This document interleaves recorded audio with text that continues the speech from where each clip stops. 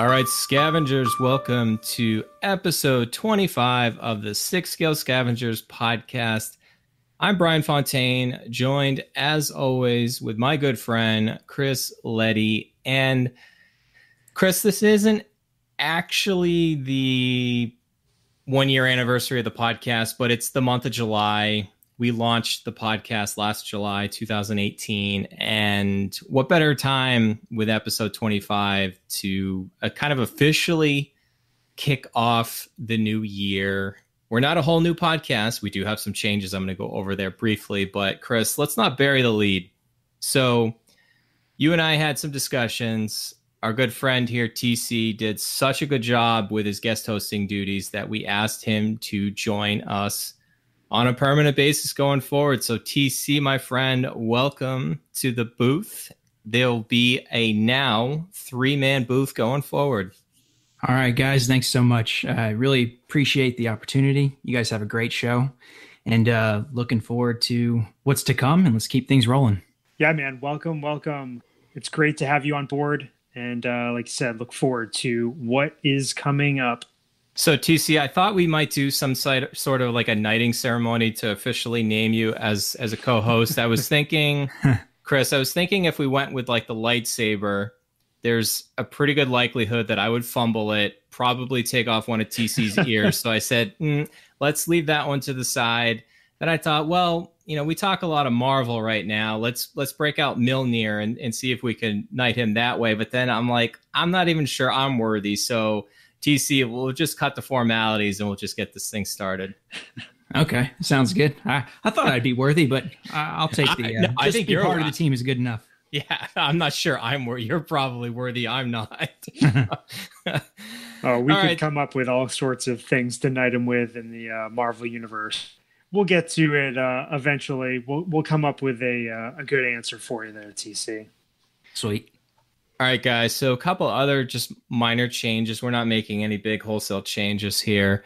Uh, one minor thing you'll see going forward is the naming structure of all the episodes. They've been, I'm kind of a creature habit when it comes to consistency. We tried last year to shoot for at least two podcasts every month, and starting our our our, our second year here with July, we kind of accomplished that, and we'll hopefully stick to that going forward. But Naming structure wise in your podcast feed, you might notice the episodes look very different. I'm going to take a page out of what Steve does for the Scavengers Assemble.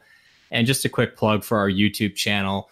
He has really led the charge to get other content up. He's got Secrets of the Sixth Scale Scavenger. He dropped his first video of that. It's quick consume, it's good information. We have our assembles there. Uh, you'll also hear the audio only of this podcast there. So you'll you'll see it a little bit different. So if it, if it looks a little different in your RSS feed, if you download the podcast through iTunes, Apple Podcast, if you're an Android user, shouldn't really deter from that. But we hope that it might be a little bit easier to kind of find out about some of the topics that we're talking about with each of these episodes. And and thanks to TC for joining. We're going to branch out a little bit more in the six scale realm outside of Hot Toys. It's still going to be mostly Hot Toys focused, mostly Marvel. We will still talk Star Wars, but you know, with with Asmus really coming out strong recently, as we'll get into, I think we also you know want to make sure that we're covering that stuff as well. There's so much other good figures out there that uh, you know we gotta we gotta give them some love, man. We gotta we gotta give them some love, even if not all of us are delving into those things. You know, now with three of us in the booth, I think there's a pretty good chance that you know one of us here or there might be uh, jumping on board with some of those other lines. So, yeah, it'll be great to uh, expand the conversation. So, what we've got on deck in episode 25 for everybody is we're going to cover some news. We have some new figures to talk about. We each have a collection update that ended up being a little bit more lengthy than I thought it would be for the three of us. We've got a really neat topic coming up. We've got San Diego Comic Con coming up July 18th to the 21st. Some interesting things and speculation that we all have about that. And then finally, our audio feature figure review we're going to do a little bit of a retro review. We're going back to Spider Man Homecoming, which is fitting with Far From Home dropping worldwide this week. We're going to be talking about the Stark suit, the original Spider Man suit from Spider Man Homecoming. And that number would be MMS 425. So looking forward to that. And essentially why we're why we picked that figure now is that is also the essentially the reissue from the Far From Home, the movie promo. There might be some differences we won't necessarily be able to speak to, but I will at least give our take on that. And anybody that remembers our the end of 2018 when we did a little bit of a recap, this figure, Chris, was one of our top five. It definitely was. It scored high in our 2018 ranking, and we had started the podcast after this figure came out, and we just had never, it never really fit into our uh, review system. And what better time than now, like you said, uh, with the movie coming out, the suit's been in, I don't even know how many movies now, four or five movies. Um, looking forward to that part of the review.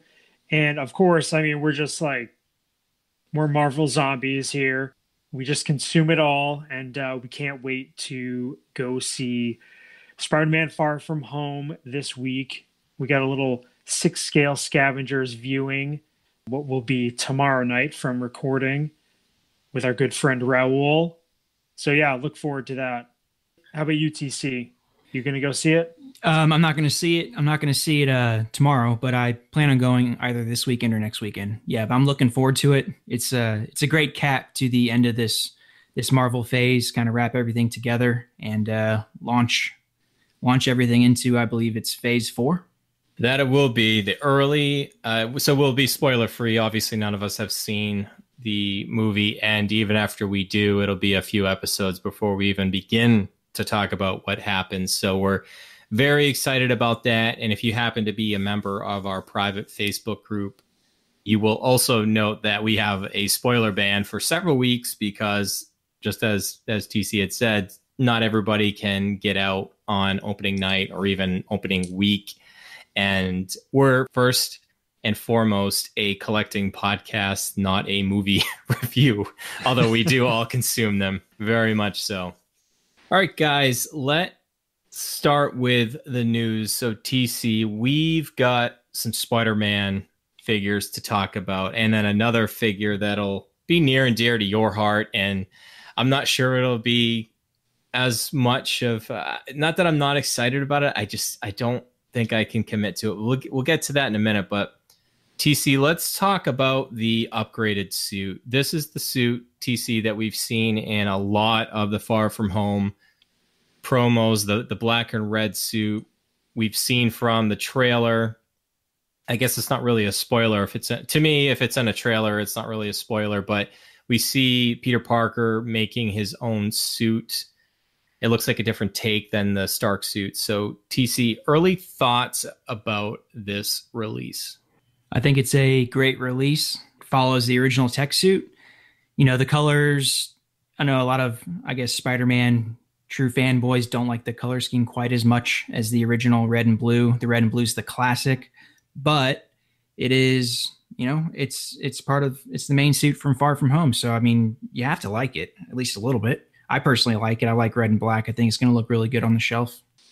Chris? Yeah, yeah. Sorry, I'm, I'm right there with you. I I think it it takes you know a little bit to take in that red and black, but it really does look great. I mean, just looking at the watching the trailer, it's pretty cool, and then seeing these pictures of the figure, it's pretty similar to the uh, to the tech suit, but there's just enough change with the coloring and, and a little bit of the design, his hands and his web shooters. It, it does, it's going to look really good along with all those other Spider Man figures. And the one thing that I really like is that I don't know how you're going to display it, but his like gliding accessory where you know he's he's kind of flying through the air and then also he's got the Tony Stark glasses. You know, that's going to be an a nice little addition. And then we're going to get a brand new head sculpt of Tom Holland and some other other accessory. I don't know what that could be, but maybe once we see the movie, we'll get a better idea of what that is. Real quick, before Bryan steps in, they've also done a couple things to improve this figure, which is nice. They moved the stitch line further back. So the I guess the original uh, homecoming suit had the stitch line on the head, pretty close to the to the eyebrow slash eyes, and also presumably they're going to do what they did with the Far From Home movie promo edition, and I think they they might uh, not bolster but put a little piece on the ankle joint to prevent hopefully the bunching at the ankles that the original tech suit had. So if they make those improvements and then maybe the black hides some of the creases, uh, maybe it allows for a little more articulation and uh, maybe a little more long term durability. So I think that's those are all potential positives as well. Yeah, TC, I'm glad you mentioned that because every time I look at mine on the on the shelf, there's just such a there's a gap with that ankle and it the suit is just so form fitting that it like you can't not get that little indentation there. So if they can figure that out, I think it'll be great. Obviously, this spoiling a little bit, but this was a day one pre-order. This was about as quick as I could have a day one pre-order. I think this is one of those figures. There's sometimes I'll I'll have a day one pre-order that when I happen to be, you know, between three and four Eastern time when it's up on Sideshow, I'll grab it. This is one I kept like refreshing the website. I'm like, I just I, I need to get it there as, as soon as possible. Not that I was worried about it selling out. I, I think the the the shenanigans that went on with the Scarlet Spider that we talked about the last time out, I didn't think was going to apply for this one, but yeah, it'll be really interesting. I can't even really speculate too much on the accessory. I, I know I've mentioned on the podcast before too. I sometimes have a tendency to go spoil a movie for myself. I haven't done it as much with this one as I've had in the past because I don't think the stakes are quite as high, but I am definitely looking forward to seeing this one. And yeah, I, this is just it's going to look great. I think like TC as you said the the colors are going to contrast well and I haven't read up with a lot of the current Spider-Man comics, but I've heard that this is this color scheme is, is something they've gone to in the past with I think it Chris it might be the Superior Spider-Man the that look, but mm-hmm. the Yeah, that sounds uh, about right. Yeah, so I am definitely a fan. I'm also looking at the accessories. Chris, you mentioned the Stark glasses. I can't wait to add that to my Infinity War Tony Stark kit bash from Super MC Toys because that's the one that I, I keep humming and hawing about if I want to get the you know the third party accessory for that. I won't use the web parachute thing at all, but I'm looking here at this little iPhone and I'm like that's definitely something that I'd probably list on eBay. I feel the uh, the parachute thing actually could give like an extra uh, dynamic pose option because you're not actually bending any of the any of the joints. You're just kind of moving the arms out and spreading the legs out, and then you just attach the magnets, and maybe you can get like a flying pose out of it without hurting the suit. That's that is a good call. So I I'm hoping to. I feel like we can't talk about this figure without also kind of mentioning the review that we'll have for the the homecoming suit. But yeah, I, I, think when I look at this one, guys, it looks material wise very similar to the Homecoming suit. Not the fabric parts, but the you know the blue on, on the suit. So it'll it'll definitely be very very interesting to uh, to look at that. But that is this figure is got a long runway. I think this is next October. So we're talking, you know, this is one of those that's like over a year away. I don't I wish this one came a little bit early. Uh, I mean, I love Spider Man, don't get me wrong. And this is also good for the budget to have this out in the runway a little bit. Yeah, it's October 2020 to December 2020. And I don't know. I mean, it might, it is pretty far out, but who knows? We might get, might get it a little bit early. But it is nice, TC, you're talking about some of those improvements to see Hot Toys put in you know the the R and D to to see how they can improve on these figures and, and to see the progression of what works and what doesn't. I mean, that's what it's all about. You would hate to see them just do the same thing over and over again and never improve. And we're really seeing that with a lot of these materials that they're testing out, that they're using. So, I mean, I think this is just the next next step in the progression for uh, the Spider-Man figures. So let's keep talking about Spider-Man figures, guys. That was MMS 542. We also have MMS 540 and MMS 541. Staying with Spider-Man Far From Home, we have the Stealth Suit and Stealth Suit Deluxe. It is the same figure for both. The big difference is the diorama base from the company is called Studio Hive. And now, TC, I don't know. Have you have you ever heard of Hot Toys actually outsourcing a, a diorama base before that they didn't do themselves? I have not. I, you know, I, I think this is the first time they publicly announced that kind of thing. Even if they had, I'd never heard of it. But this seems like it's the first. But it seems like it's probably not the last. I mean, Chris, we are talking about a seventy dollars stand. uh, yeah, seventy bucks is is a big deal. Uh, the one thing that really, the one big thing that's really going for it is that it's it is a character base. It's Molten Man. It it's not just bits and pieces of broken up, you know, Ultron bots or whatever it might be.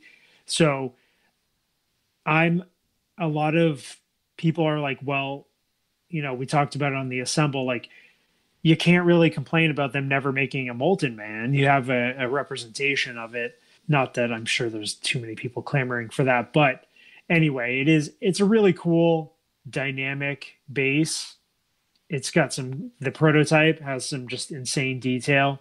Yeah, that $70 price tag is just it's pushing me away from going with the deluxe for probably the first time. Yeah, that that was an easy decision for me to make because that's something I would just probably sell anyways. But this one's going to be a little bit sooner. This one's July to September 2020. It's it'll come out several months earlier than that. The uh, the upgraded suit. I it, it's funny with this. I mean, I I will get this because I love Spider Man, and without even seeing this movie, I have a strong feeling I'm I'm gonna like it.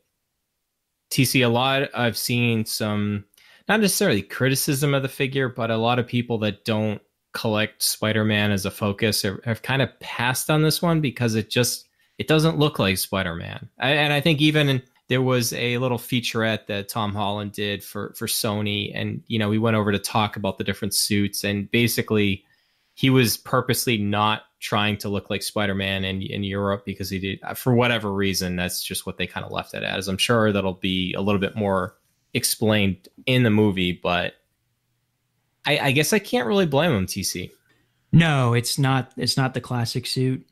I feel, especially if you are not a hardcore Spider-Man collector, it's an easy pass because you know if you have the tech suit and then you go and you upgrade to the to the upgraded suit. Oh, I should have chosen my words better there. But if you make that purchase and then say you have the Iron Spider, those three are kind of the big the big three at this point. And this one's kind of a I don't know, I haven't seen the movie, but presumably not quite, you know, it's not as important. So I guess it's, it is an easier pass and it's all black. So some people are not fans of the stealth look. Uh, I personally think it'll look pretty good next to if you have say you have like a concept cap you have the concept iron man and then you put those three together i think that would look pretty good but i can see why people are staying away at least before the movie starts we haven't seen what it does in the movie. So time will tell. Yeah that's that's a good point too. A lot of i know i personally changed my opinion about some of this stuff. You know if it's released before the movie then you see the movie and you feel a little bit differently about it. But that's one benefit of something that's clearly not going to sell out anytime soon. There are those of us in our group, and we love to sell T-shirts on on TeePublic for our, our day one pre-order. The shirt Roy put together, and it's you know it's been one of our catchphrases over the last year or so. There's for a non-exclusive, there's no reason to run out and get this if you're not quite sure. Watch the movie first, then make your decision. And then and then even at that point, you could probably well wait till early next spring before you'd even have to think about making a decision on it. Very, very true. Yeah, some of these uh, some of these figures don't necessarily need us to jump right on them, but uh, for me, I I really I like the contrast in style, kind of like what TC said. It's just it's a different look. I'm like I love that that just stealthiness of this figure. It's kind of tactical. You know, he's got some cool armor on there. It's just a different look for Spider-Man. I've you know, I've never really seen it before. Spider-Man Noir from Into the Spider-Verse is like uh old school kind of version of this and you know, it is neat to see this style. We don't get a different head sculpt. He just has the eyes behind the mask and I think that is another reason why you know some people are not super crazy about it. But I don't know. It, as we'll discuss in our collection updates, you know, I'm definitely I'm definitely interested in it. And for me, like I kind I kind of get like a Snake Eyes vibe, like a GI Joe Snake Eyes vibe from it. So I I'm a huge fan of that character. So you know that's another reason why I kind of like it. So we didn't mention it about the upgraded suit and then obviously with these two things so tc this was something a little bit different than sideshow has done and i'm not sure that we've seen it that it's going to be a trend or if it's just a one-time thing.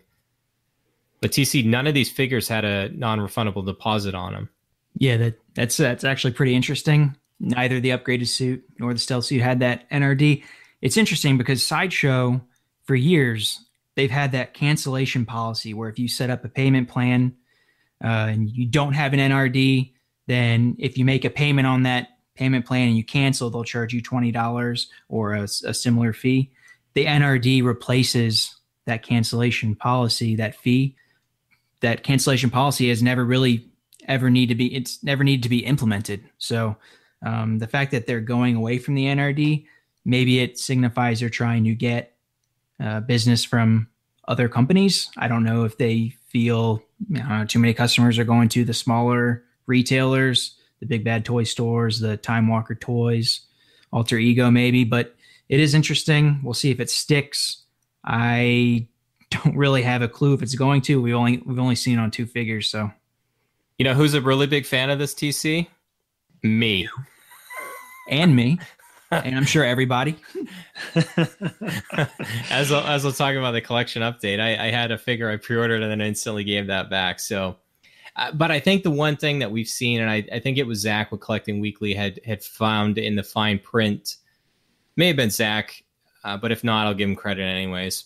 I'm sure it was. It may have even been one of the three of us, but the the the fine print is the cancellation will only kick in if you've actually made one payment towards your payment plan. So I think what we could do as collectors is if you decide that you really don't want it, make sure you do that before that first payment hits. And Chris, I know like you and myself, we like to stretch it out as far as possible. Mm-hmm. Like if there's seven available, I'll do seven. If it's six, five. Sometimes it's only two with some of these figures with a little bit shorter of a runway, it definitely is something to keep in mind. I mean, of all the figures I've got currently on uh, pre-order, these are the, probably the least last two that I would ever consider about it. But I think it's definitely something that the three of us will track going forward for sure. Yeah, any new figures that come out going forward, we'll definitely keep a close eye on those NRDs to see if it if it's a trend or if it's uh, just kind of a one time one time thing getting some uh, Spider-Man enthusiasts in on the uh, the Hot Toys game. So before we we'll stick with sideshow here real quick, okay. and this this was Nick in our private Facebook group posted mm-hmm. a email image. I love seeing those email things. It means it's usually good news, unless it's a delay, like we talked about with the Mark 43 going away until next February. But I'm not bitter. Joker quarter scale. Joker quarter scale. The so it looks like probably some of the least surprising news we've gotten in a while is it looks like the Darth Maul will be arriving early at Sideshow instead of I believe it was October when those were going to start hitting. It looks like it's going to be between July and September. Hopefully, for people that got in on those day one pre-orders, are hopefully going to get their their figures and those first batches Yeah, I know our good friend PJ, the Paradox Nerd, already has his DX speeder figure in hand, has already done an unboxing video. He's already got his review up on his YouTube channel. Highly recommend checking that out. If you see it and you see it in 4K, you're probably going to change your mind if you don't already have it on on pre-order. I know we don't we don't talk as much Star Wars as we'd like to around these parts, but that's what Rogue One 6 was started for with Matt and Roy, and they're going to be getting another episode off the ground soon. So, good news for Nick, good news for our fellow scavengers, and looking forward to seeing that in hand more. Cletus goes goes with the uh, the double pack, the DX16 and DX17. Give a shout out to the Hammer. He, going big.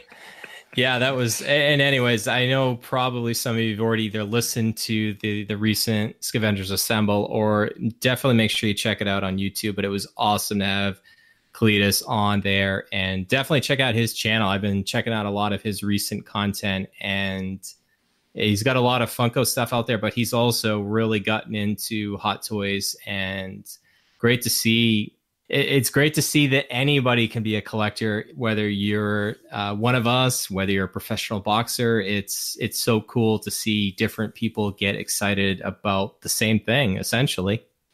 Yeah it was awesome to have cletus on. He's uh he's got a great perspective and i just love his tenacity in getting into the the hot toys game. He's really gotten gotten uh fast and, and, and furious into this whole six scale realm. But uh, yeah, just great. He's got great stuff, like Bryan said, on his his YouTube channel, Cletus Seldin, and then also collecting Cletus on Instagram. All kinds of great posts, and and he's going to be at SDCC producing lots of content.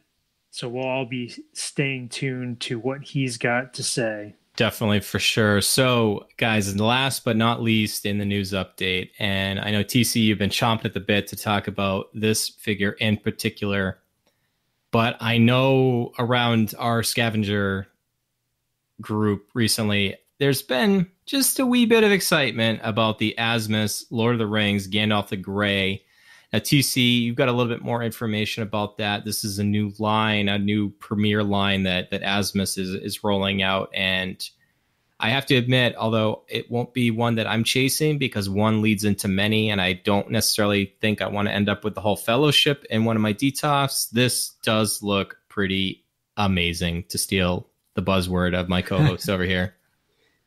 Yeah, it uh, it does look amazing. I think what you're saying about the Fellowship is interesting. You know, they're not hot toys, so if they produce the Fellowship, it's not. I don't think it's going to be like seven of the figures in one year. It's going to be spaced out over time. But yeah, uh, it looks like a great figure. It looks, you know, I guess I'll go down the list. You know, they're using their, I believe their Atom body. I'm not familiar familiar with that the figure is supposed to be about 30 centimeters tall, which is pretty accurate to the height uh, of the character in the movie. If you expand that uh, beyond the six scale to life size, it has 36 points of articulation. It has the rotatable eyeballs, uh, obviously the great head sculpt. It's got a uh, plenty of uh, different aged hands. It has the fabric made wizard hat, the dark gray robe, dark gray cape, the soil gray inner shirt, pair of blue pants, the leather blue belt, and fabric boots. Comes with several weapons the glamdring with the elvish printing, the two wizard staff, and the well, this is not a weapon, but the the pipe from uh, Gandalf's pipe, and then it also has a diorama base and the Diary of Moria. So it comes with a lot of stuff. Asmus is really betting big on this figure. You know, they're going to show it at SDCC, I believe. Gandalf the White follows it. So if you don't produce a quality Gandalf the Gray, you are really putting yourself in a bind. I think what they're doing is good too. I think they know they can't compete with Hot Toys. So Hot Toys obviously is, it mass produces high quality figures. They can't compete with that. But what they can do is carve a niche.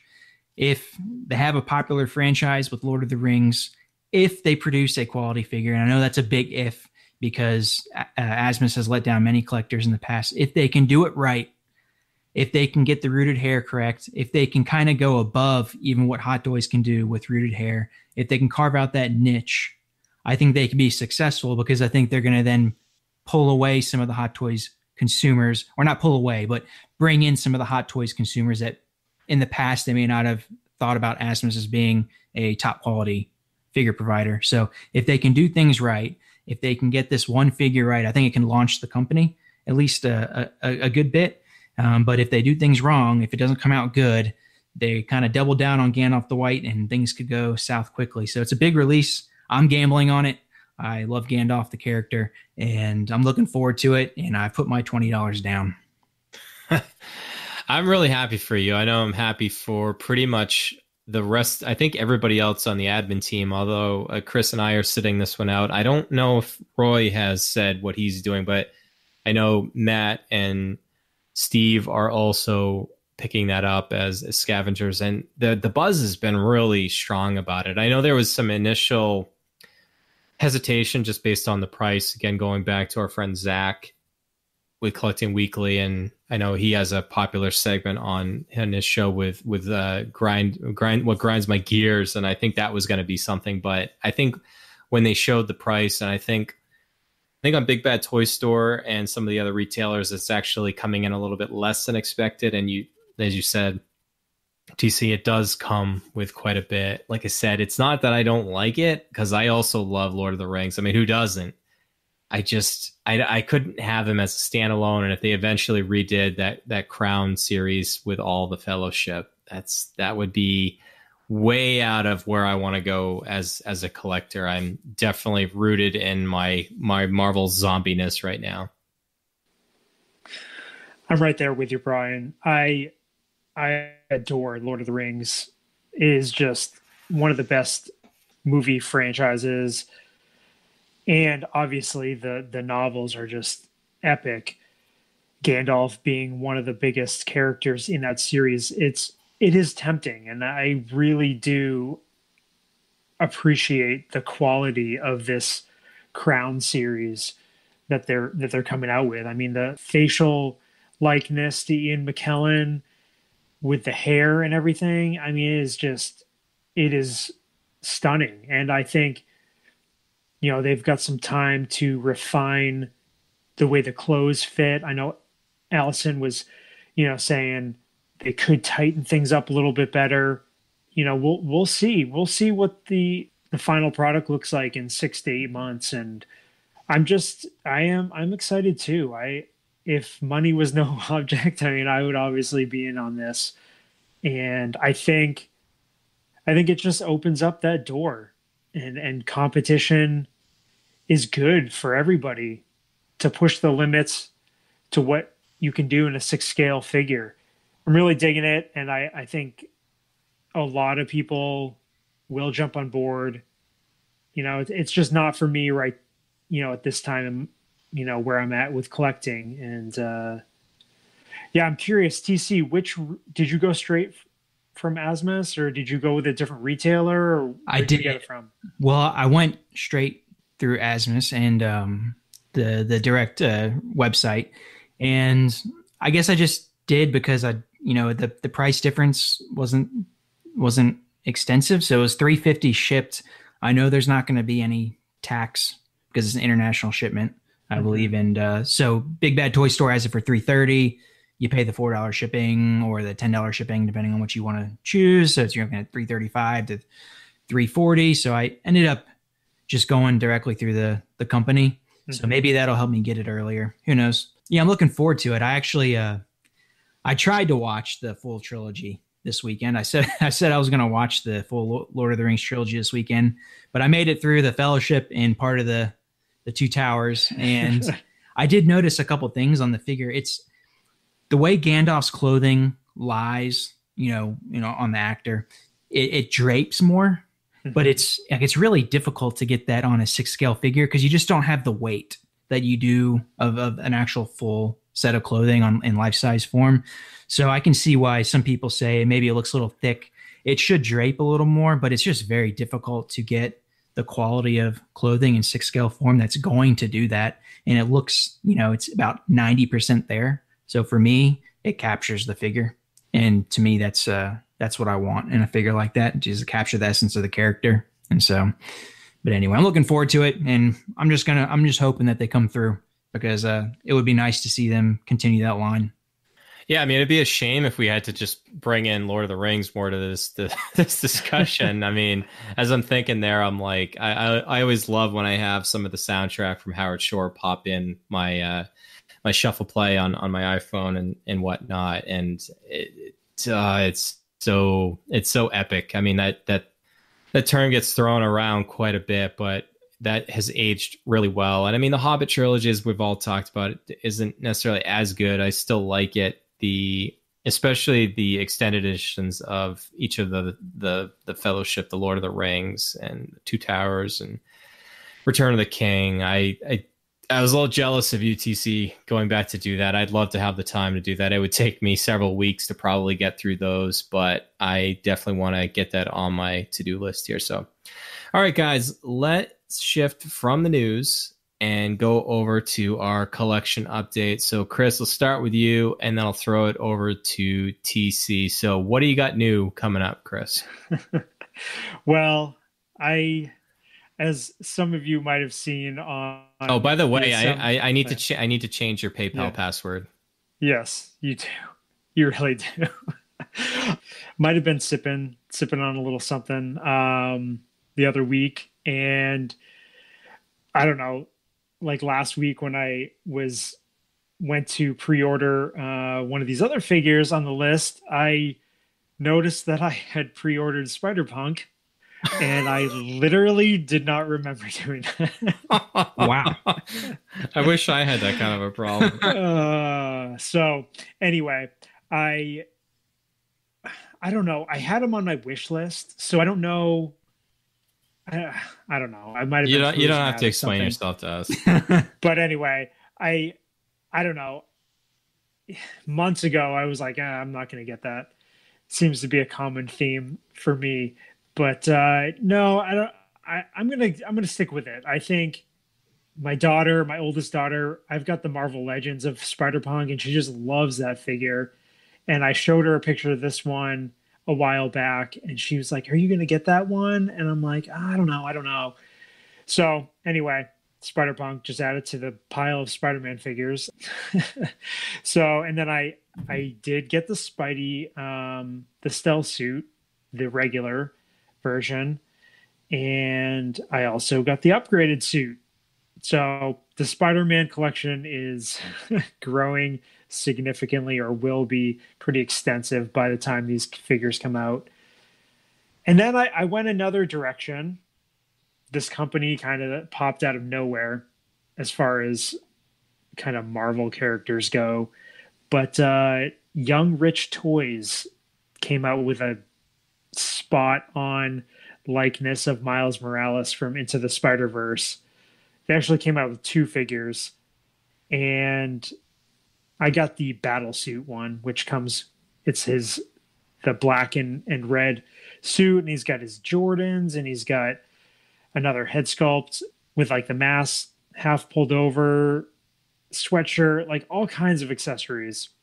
So that's SP002 and I get that from TNS Figures. Pretty different design. It's the cartoon style, but I think when he's got his suit on, his Spidey suit, I think it'll look awesome with all the rest of the figures. And I hope, you know, I, I, w- I wish that we could get this stuff from Hot Toys, you know, or one of the other licensed uh, retailers in six scale again, hopefully this pushes things in that direction. You know, there's some other characters from that movie that I would I would totally love to see in six scale form. So yeah, that's pretty much it for my pre-orders. But I did I decided to axe one of my one of my other pre-orders and TC you might be the Lone Ranger on this uh This is a sad day. This is yeah. sad. the uh Mark-El Mark-El accessory pack I uh, I cut ties with that one. I I was going through all my pre-orders and I realized, you know, as cool as all those accessories might look, and in theory, you know, I might might uh, display with one or two of them, but uh, in reality, it's probably not going to happen. So I cut ties with it, and I did lose a coupon in the mix, but uh, I got some rewards points back.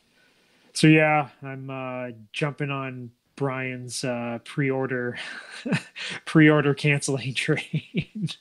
uh, but anyway, so what uh, what do you got going on? So I I, I did s- uh, some similar stuff as you. I I have not pre-ordered Spider Punk, although you know Spider Man such a fun figure. Uh, it's a fun figure to to look at. So I, I it may happen in the future. I don't know yet, but I did pre-order the stealth suit with zero NRD, which is a huge bonus. I pre-ordered the upgraded suit again with zero NRD. And I also pre-ordered the Gandalf figure from Asmus Toys. We've talked about that. I'm, I'm looking forward to that one a lot. And uh, this is a little bit different, but when I had actually, I as well had the accessory set on pre order. I'm losing confidence by the day, but I still have it on pre order. And I do have two of the Markels. Um, I have one displayed with the Tony Stark head sculpt, one displayed just in its base form. Well, the second one that came in, I was looking at it and all of a sudden I was doing like a quick inspection and on the left leg on the calf there's like a deep scratch in the paint and I was just devastated. So I was trying to see if I could just not do anything about it, but it's just in my head. So I ended up emailing Sideshow for a calf replacement because I know you can take apart the calf. They ended up sending me an entire leg. I believe it's at UPS right now. So that's coming my way. I just had to I had to re- at least request it just because it's just, you know, it's 400 bucks. And I just hope that, you know, it doesn't look like someone keyed the left calf of the Markel. So that's at UPS. And I ended up selling, as sad as this might be, Yondu Deluxe, which I really do like that figure. It's mm-hmm. awesome. The problem is I don't have any of the other Guardians of the Galaxy 2 figures. Uh, I don't okay. plan on getting Gamora and, you know, I have my Avengers lined up in one shelf. I'm going to have my Endgame figures on the top shelf. Yondu was just sitting at the bottom shelf by himself. He was lonely, oh. and I, I was just like, eh, I don't know. I'm not. I, I am not going to expand on that right now. Uh, the the line. So if I can get the you know the three hundred and fifty dollars plus for it, uh, then I went ahead and did that, and so I can apply that to other figures that are coming down the line because they're coming fast and furious. So I had to make that little shift. But that's about it for me right now. Uh, you know, as Bryan knows, you gotta tough. make room. You gotta make room, and you know, it, it is with those those outlier figures if they don't quite fit into a run or you know a shelf or whatever it is sometimes hard to to keep those. But uh, no, it's good. It's good. It, it, it's your collection funding your collection. And, right. it's, and it's healthy to let go of stuff.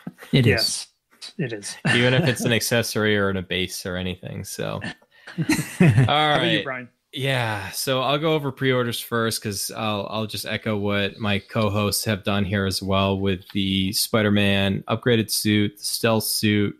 So uh, I will say that I did pre-order the advanced suit from the PS4 game based on our friend the Paradox Nerds review and figure collecting for dummies. Uh, and Wong both did awesome. I had that, but then I kind of fell into a situation where I had the opportunity to do some things that I have been on the lookout for a while, and I found some deals. And once I found said deals, one of them was semi planned. The other one was I was, you know, when in Rome, might as well just go for it. So I had to not necessarily scramble because I basically just tapped out my current budget. So to make room, like as TC just said, to make room for upcoming stuff, you gotta have to have stuff going out to kind of to fund that. But I did find, and I've been looking for the Mark III War Machine from Captain America Civil War for a while, and that the prices on that have just skyrocketed. And on eBay, I've had a safe search for a while, and I keep looking at the ones that come up, and they're just so high. And then I saw one that came in, and it was for really small minimum bid, and I just followed it all the way up through. and I couldn't believe it, but it ended up being like less than double retail. So obviously, probably one of the lowest sold in several months, maybe not even, maybe even the last year. So patience definitely pays off. Um, I will say that the description on the figure maybe wasn't as strong as it could have been. Maybe people got missed if they had were looking for the MMS number and and whatnot. So I lucked out with that. And then as I was going around, I'm like, well, now my other one I'm looking for is the Mark One, and the price on that one has been well north of the Mark Three.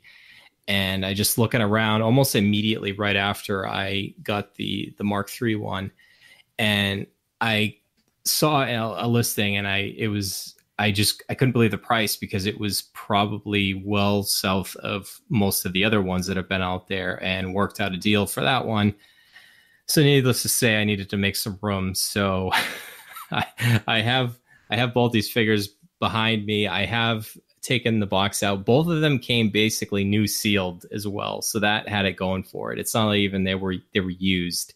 Both of them were just open for inspection. So basically in my book, that's brand new. So that is where I'm at. I am no regrets whatsoever. I'm both of them are just fantastic. I know TC, you're asking me which one I like better earlier, the one or the three, and uh, the fans need to know. The fans need to know. Um, I don't know. I'm still I, am a little partial to the Mark One just because of the nostalgia about that. I probably like Iron Man Two more than most. I know Chris, you and I have talked about this before, so I'll but for the next episode because I want to get them out and displayed in, in my Detolf soon. I'll TC, I'll I'll have that answer for you. yeah, it's a, that's a great figure, and uh, you know, actually, I think the Mark One is just by a hair a little bit better built. It's just it's it's MMS 331, but I swear, Hot Toys, someone in Hot Toys loves War Machine because they put extremely they put a ton of attention to the War Machine product. So uh, it's a great figure. It's probably the best one in my opinion. I love the Mark III though, but uh, those are two awesome, awesome pickups, man.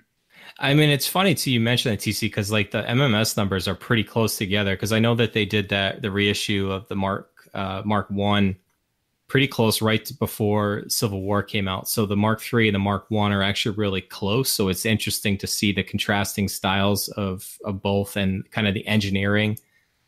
So outside of Chris going to chase down the uh, Mark II from Iron Man 3, which technically wasn't ever in the film, I'm going to chalk myself up to being complete with with War Machine at this point. So, because I have the one from Age of Ultron, which is ex- essentially the same figure, just with a, a different paint scheme. But, anyways, so bearing the lead here a little bit to fund that, I know our good friend Steve has been on the lookout for a Scarlet Witch from Civil War for a long time, and he's a great uh, bargain shopper. I mean, when we had him back, Chris, I don't remember the episode number, but we had him as a guest. It was either 17 or, or 18. And he is a pretty stern negotiator. But as we do with our group, we help out fellow scavengers. And I know I needed to make a little room in my budget for upcoming figures. I know he's been on the lookout for it. So we worked out a deal.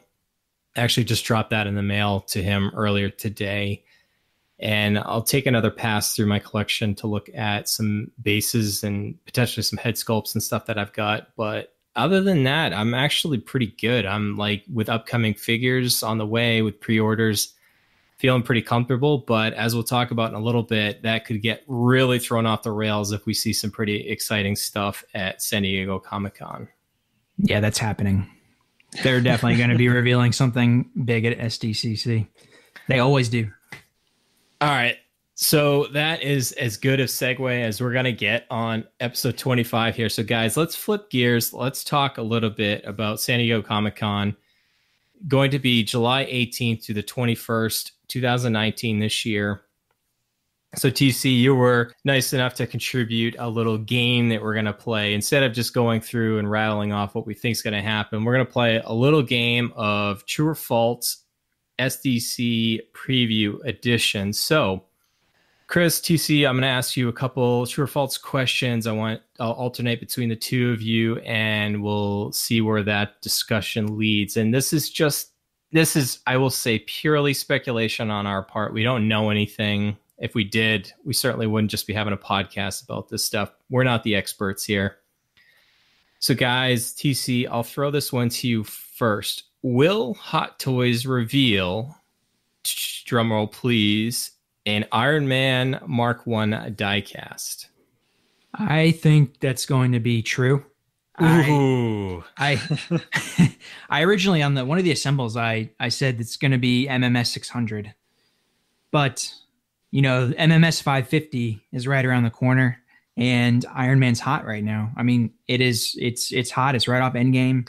Uh, I think now would be the perfect time to uh, do something like that to make that big reveal. So I think I think we're gonna get it. I know they could always they could always you know obviously they can do whatever they want, but I think it's a perfect place to showcase it, and uh, it'll get a lot of hype if they did. So I'm saying true. Chris, what about you? I'm right there with you. Also, I I think it's true. And could you? I mean, just the the buzz is just gonna it's gonna blow up if uh if they reveal a Mark One diecast. Oh, it's gonna got- be epic. Oh my god, there's gonna be so many people, you know, fighting to take pictures, and and uh, it's gonna be the the talk of all the you know within all the uh, six scale community, all the different podcasts, the YouTubers. I mean, it's just gonna be the number one topic in my opinion. And you know, they've got Hot Toys. They put out the Hall of Armor, you know, so they've got that sitting on uh, on sideshow they've got it available right now uh, at least the individual ones i think. So i think they're kind of setting us up. And you know they had done the mark ii we've i mean mark three is a little bit old now but it would be pretty sweet for them to do the mark one in diecast and then everybody will want to buy that has the other ones already is going to want to buy that hall of armor or you know go for go for the mark one so i'm i'm in on it i'm in on mark one diecast All right, so you're both you're both going with true. I'm gonna I'm gonna throw a monkey wrench in this, and then so you both think it's gonna happen. It's not really a true or false; it's a multiple choice here. Chris, will go to you first. If they release it, is it a standard release or is it a Toy Fair release? i think it's a standard release TC. Yeah, there's no chance. It's definitely standard release. No chance. It's Toy Fair. Yeah, that, They're not going to limit anything with that figure. No, they they want to make all the money with that that they can. So, uh, and just for everybody listening at home, I agree completely with both of you, and I will lose my flipping mind if that happens. do you think do you think it might be a dx series Ooh, even better. what if Uh, it's like uh separate tony stark just with stop? Just Chris, just stop now. You- How much farther down the rabbit hole do we want to go? That's one? an eight hundred dollar figure, i know two pack. yeah. I'll I'll buy it. yeah All right, guys. let's next true or false. Will uh, TC? I'll throw this one to you first, and we'll give this uh, throw bone to our Star Wars listeners out there. TC, will Hot Toys reveal Han Solo, Chewbacca, and Lando from Empire Strikes Back as we approach the 40th anniversary of that movie? Mm. For a while, I, I thought this was going to be true. I thought Hot Toys might do something special, give the Chewie Han Solo two pack, maybe put C3PO pieces in the uh, with that with that release. I'm going to go false. I think this is Marvel's time. I think that they're going to go heavy Marvel. I just it's it's hot right now. I know it's the, the anniversary for Empire Strikes Back, but I'm going to go false that the Chewbacca and Han are not going to be shown. Chris? uh, our poor star wars collectors matt is crying he's crying because he wants to see those he wants to see him at sdcc because he's going to be there he's not going to see him he's not going to see him. I i you know I, I hate to have the same answer but I, I just don't i mean they don't they're not putting the money or their focus on star wars right now. Steve has a really good graph that he's made of the figures coming out and it's been forever since they've uh, announced a Star Wars figure. And, March. Yeah, it's been March. Yeah. So, and then as you progress throughout the, you know, the year, the Star Wars figures, it just stops. It just stops. So, as much as I'd like to see them, they've all three of them have been teased in other promotional images. I don't know. I just don't. I don't feel it. All right, last one. Back to you, TC. Do we see Thor from Endgame any version? Yeah, yeah, we do. We do. I, I think. Uh, I think the final battle Thor is coming, and I think they might show the uh, Thorbowski as well. I think we're getting both. They're going SDCC. Collectors are going to love it, and it's going to be a celebration in Marvel World. How about you, Chris? well, I'm half. I, I, I agree halfway with that. I think they're going to have the end of the movie Thor with his suit on, but with his big belly, with his big braided beard and and everything. I think we'll see that. I do not think that we will see Thorbowski. I don't think we'll see it at all. As cool as it would be, I just don't feel it happening. Yeah, I, I'm with you too. I'd love to see it. I think some third party will scoop in and, and try to do that. But I think it's all but a certainty. We see that. Final bonus question here, Chris. Do we think we see a Mysterio figure at SDCC? Oh man. Um the answer I, is the answer is yes, by the yes, way. Yes, I I think we will. I think we will, but it's it's is it going to be one of those teases? Is it going to be a tease like Vulture? Is it going to be one of those ones that everybody just really wants, but we just don't end up getting the finished product? Yeah, it could. I don't know. It could be. I. uh I don't know. I. I it's well, SDCC comes after the movie, so you know maybe Hot Toys is just waiting for some fan reaction. I don't know. What do you think, Chris? Is it? Well, I think that I mean that might be true. They probably have a prototype made up. If they do have it made up, do we get a Gyllenhaal head sculpt? I don't know. I think we I think we see it. I think we see a Gyllenhaal Hall head sculpt, and I'm calling it right now. I think he ends up as a top five Marvel villain. Wow. Wow. I think it's coming too. With just like you said, Bryan, head sculpt, the whole shebang so I think the only reason we didn't get the vulture is just the the, the sheer yeah, scale the of the fl- of the flight wings with that. I mean, I don't I never obviously none of us saw it in person, but I, I have to imagine the the wingspan on that it would probably be like three D Detolfs wide, if not more. And nobody has that kind of space. I mean, as cool as it would say to have that, I mean, I probably would have just taken the the vulture figure without the flight suit because I think that's still cool. But I, I think Mysterio's got a chance to, mm-hmm. you know, usurp Vulture, and, and, I thought Vulture was one of the best. I think Vulture is one of the top five villains. I mean that that scene in the car right before the dance, the homecoming dance, that's still one of like the top scenes that they've ever been able to pull off in the MCU. So I mean, it's just uh, yeah. If they made that figure, that would be like oh. something like a, a Steve DeRose exclusive.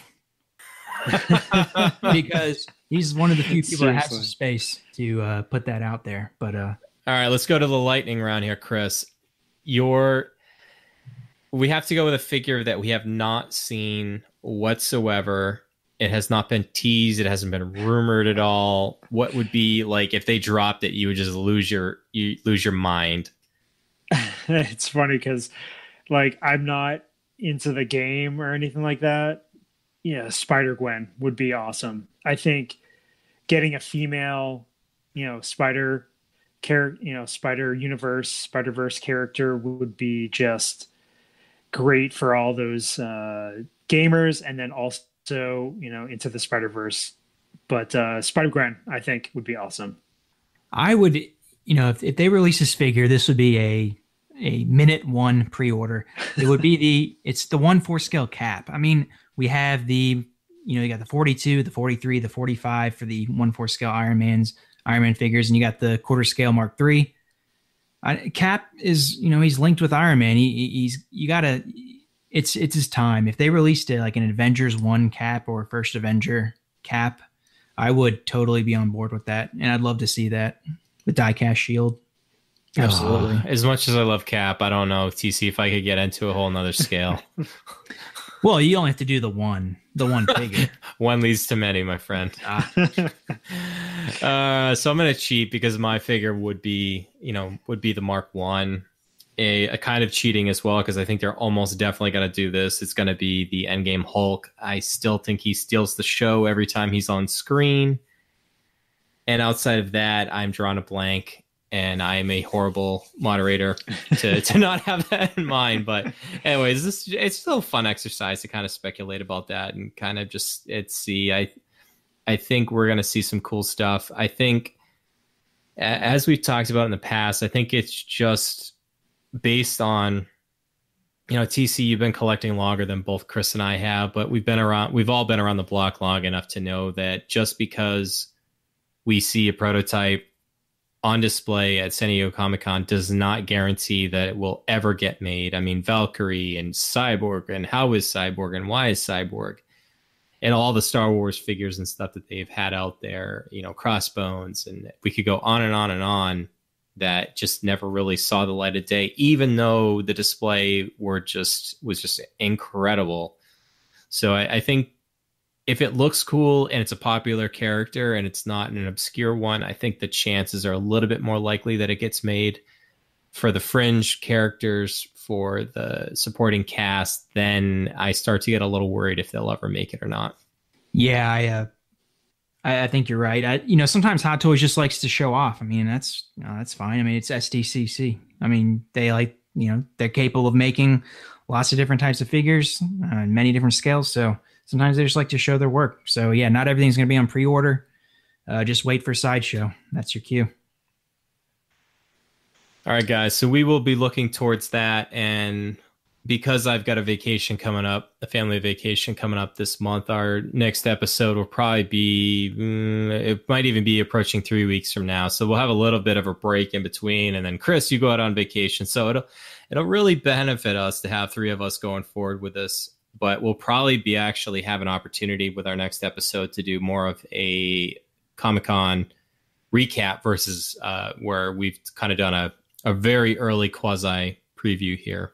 All right, guys, let's get into our audio feature figure review. We are going to be talking about Spider Man from Spider Man Homecoming MMS 425, a figure that was first revealed slash available for pre order February 28, 2017, several months before Spider Man Homecoming hit theaters. And I don't know if a lot of fans, I know myself included, I, I feel like a bad Marvel fan, but that's during that time period, I was kind of on a little bit of a hiatus from Marvel. It was actually the one of the, I think, with Doctor Strange, Guardians Volume 2, and then Homecoming, I didn't see in theaters. I kind of shame to admit that, but I can admit it out loud now because I'm amongst friends with all of our listeners. But, anyways, guy, I couldn't track down when it was actually eventually made. I, I thought I saw some YouTube reviews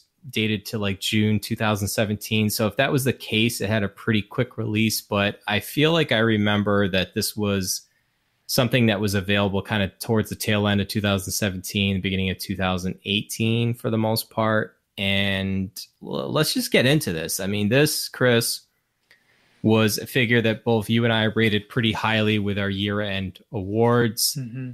It was rated highly amongst our private Facebook group when we gave everybody the opportunity to contribute their own list. And I want to say it was on the, that list as well, if not in the top five, the top six. And just, I completely love this design. It was at the time I was like, ah, it's not really a traditional Spider-Man suit, but I mean Ryan Meinerding did a fantastic job designing this. I mean the fact that the eyes were very practical to to kind of move them around to to show what his eyes look like in the comic books. And as a huge Tony Stark slash Iron Man fan, the fact that he had a heavy influence in in Spider Man, oh, just it's just it's just great. So let's get right into this figure, Chris. Yeah. So this figure, it's funny because like this was one of the first figures that I pre-ordered or I, I ordered when I first started collecting. Gosh, it was February of last year. I ordered this guy, and it wasn't that long after that it went um, on waitlist, and a lot of people. I know a lot of people were upset that they missed out on it, and I think the fact that you know we've got the uh, movie promo edition coming for Far From Home, I think that's a great uh, alternative uh, for this figure. But anyway, so we're talking about MMS 425. I've got MMS 426, the deluxe. Same figure, everything. It's just got a couple extra accessories. We'll we'll get into that in a minute. But uh, this figure has got it's all new body likeness. The design of the suit was all new uh, fabric, new technology for this type of figure. Comes with a a great Tom Holland head sculpt, a, a non battle damaged one, uh, unlike the the homemade suit one, and so we get you mentioned the eyes. He's got different eyes, four different pairs of them, thirty points of articulation. I mean, this figure can get in all kinds of different crazy poses and he is a little bit shorter, so it does go very well uh, compared to some of the bigger figures uh, in the Avengers lineup. But uh, yeah, all sorts of accessories with this guy. We've got fists, we've got relaxed hands, we've got palm, you know, as if he's shooting his his webs. We've got open hands. So eh, you you've just got a lot of opportunity to come up with all sorts of designs, display designs, and that sort of thing. I mean, you, you mentioned the material. I think if we contrast this to the Iron Spider mm-hmm. that we've previously reviewed, I mean, that suit was more of a rubberized and obviously causes a lot more creases. I know Allison has mentioned before, like this material is kind of a, a combination of spandex. I think she called it Spandora. Mm-hmm. So the red material has some give the the blue suit is more a little bit more rubberized. It I haven't I I can say that I haven't really tried to dynamically pose him all that much. A little scared too. I, I have a tendency not to do that with some of the suits like this, just because long term wise, I just don't want to damage it. And I'm okay with like museum like poses for the most part. But I just I keep taking a look over here, and it, like you mentioned, like I I love the fact that they actually he looks like a teenager. I mean, he looks he looks like Spider Man. Mm-hmm. I mean, TC, you mentioned a couple of the things that I've got a little minor gripes on. Uh, you, you mentioned it when we talked about the upgraded suit was the uh, the, the head stitch kind of comes right down the forehead and I know some people got their versions and it was a little bit more pronounced than others. And you mentioned it too with the the the ankle rocker joint, the fact that there's a little bit of a gap there, and because that Spandora material has a tendency to kind of contract a little bit, the the ankles look a little weird, and it, it's really hard to not make it look like you get that indentation there. I, I keep trying to fix mine, I'm a little scared to like unstitch the suit at any point just to put a little putty or something in there to fill in that gap. But then if you do that, you can't really articulate it if you ever want to. So it's definitely an opportunity. Hopefully they can fix going forward. Yeah, it's, that's a tough one because you don't want to. You obviously don't want to mess with the suit, and it's not. It's really not avoidable to get that that scrunching near the ankles. I just don't think they accounted for it. You know, it's not something that they may have paid attention to because they don't they don't always look, I guess, at the the long term changes a suit can have. But I'm glad that they addressed it in the Far From Home movie promo. Uh, I don't think it deters from the quality of the figure. It's still a great figure, and uh, I don't own the figure, so you and Chris are gonna have to continue on uh, describing it uh, without me. But it, it looks great, and uh, yeah, just something something to look out for. Just just be careful if you own the suit, not to constantly shift the feet up and down, uh, scrunch the suit too much, or it could, who knows, it could tear. I don't know. Chris, I know this one came jam packed with accessories, especially on the deluxe one. I know the deluxe came with like a hoodie, a yellow blazer, the vulture helmet, even the standard version that I had, you know, I had a backpack, headphones, a textbook, all things that I don't think any of our listeners would be surprised to hear. And I mentioned it well back, probably 10 episodes ago or whatever it was when we were talking about parting out figures. And they actually went for, you know, a decent amount of money, you know, at the time. I don't think I would ever display the character with those things anyways, but it is good to have like little options. And if you are one that likes to kind of kit bash things together, having those extra fig extra accessories. I know Chris, you've just been working recently on your Peter Parker kit bash, and having some of those things actually can enhance a another figure like that. Yeah, the accessories really did uh, make that that kit bash pop with his. Uh, well, I mean, I used the backpack, the uh, headphones, the textbook with the uh, gang hood, Infinity War kit, and then obviously with the head sculpt from this figure. It, I mean, it's just a great alternative. I, I know a lot of our listeners and, and uh, fellow members of the group have that kit, but uh, no, I mean that's that's what that's what's great about some of these figures. They just you, you, you love when you have the option to display with uh, something different, and then like you do, I mean you you were able to recoup some of that investment and put that money towards something else. Because we all know that six scale collectors love accessories and there's always a market for a lot of this stuff. Anyway, I mean, the figure comes with other things. He's got his uh, magnetic web wings that he uses when he's in DC, saving his his friends, and like you mentioned before, the the deluxe has that the zip up hoodie, his um, blazer. So it's just a cool look, and then obviously the deluxe comes with the um, that cool vulture helmet. That's that's the one little homage to that figure. At least I've got that. So yeah, he's got a, a non-wearable mask, which is kind of cool, and then uh, just a bunch of web effects, uh, different different lengths and, and that sort of thing. But you know, like a lot of good stuff there too. I think like articulation wise, it's pretty good. I think this has got a lot more of like some of those racket, uh, the ratchet joints. Mm-hmm.